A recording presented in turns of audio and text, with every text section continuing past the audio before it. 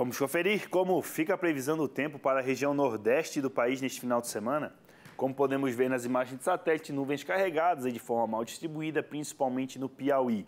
Olhando aí para a chuva no último dia do ano, temos aí chuva aí com 20 a 30 milímetros aí no interior da Bahia, boa parte do estado do Piauí também no Maranhão e de forma bem mal distribuída aqui, mal chega a 10 milímetros aqui na Paraíba, partes aqui de Pernambuco também e também do Rio Grande do Norte. Quando olhamos aí para os próximos cinco dias, tendência dessa chuva e aos poucos se espalhando por todas as áreas com maior volume, principalmente no Piauí, faixa oeste aí do Ceará, pegando parte sul aqui também da Bahia, na qual esse volume pode chegar até a 100 milímetros, contribuindo com a umidade do solo e também aliviando o calorão na região.